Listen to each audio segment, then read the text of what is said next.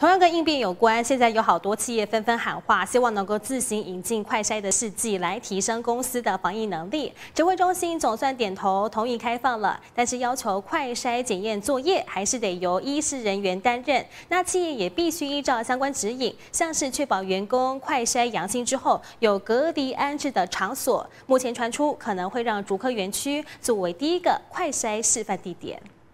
抗原快筛检验耗时短，在国内目前大量筛检作业中起了关键作用。许多企业也提出想启动快筛，提升公司防疫能力。而指挥中心总算点头，同意开放企业自行采购快筛试剂，但必须依照相关指引，像是要确保员工快筛阳性后有隔离安置的地方，也要追踪确认员工后续 PCR 检测情况。目前严拟可能会让竹科园区示范先行。裁剪的部分还是要医事人员这边。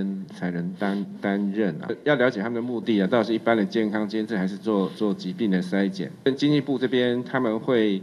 根据我们这些指引的部分，他们会报一个计划。过去指挥中心不肯松绑，主要是因为快筛有未阴未阳性疑虑。看看相关数据，在疫情热区双北市，七十七件快筛阳性个案中，至少有五十五起 PCR 呈现阳性，确诊率高达百分之七十三到七十五，准确率高。反观桃园及台中市，数据变化大。我在双北以外的地区，哈，可能特别要针对，就是有这些接触史，或者是有这个。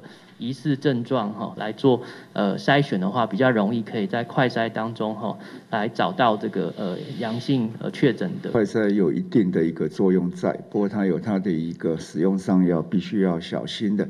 企业快筛有谱，但相关指引细节还需要经过指挥中心审查，确保快筛的有效性，也避免专业医材遭到滥用。记者综合报道。